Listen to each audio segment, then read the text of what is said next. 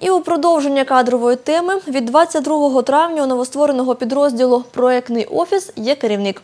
Ним за результатами конкурсу стала депутат Сумської міської ради від фракції Батьківщина Оксана Кубрак. Як зазначено у положенні про відділ, це окрема одиниця зі своєю початкою та бланком. Підпорядковуватиметься відділ безпосередньо секретарю міської ради.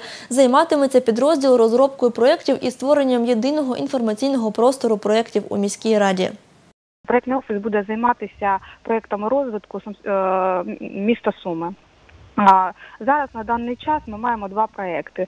Це проєкт внутрішній по докум... е, по електронному документообігу, і другий проєкт це е, е, поліклініка без черг. Зараз вона буде реалізовуватися по дитячим поліклінікам. Ми супроводжуємо, контролюємо, щоб вони виконувалися в строки, допомагаємо складати плани графіки. При органах центральної влади е, така практика досить поширена. Наприклад, був проектний офіс при Національній раді реформ, е, також при міністерствах.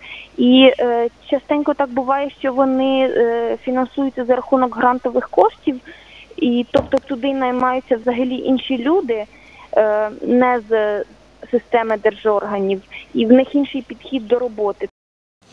У відділі передбачено чотири працівники. Крім керівника, це менеджер, адміністратор та експерт. На ці посади людей обиратимуть через конкурс.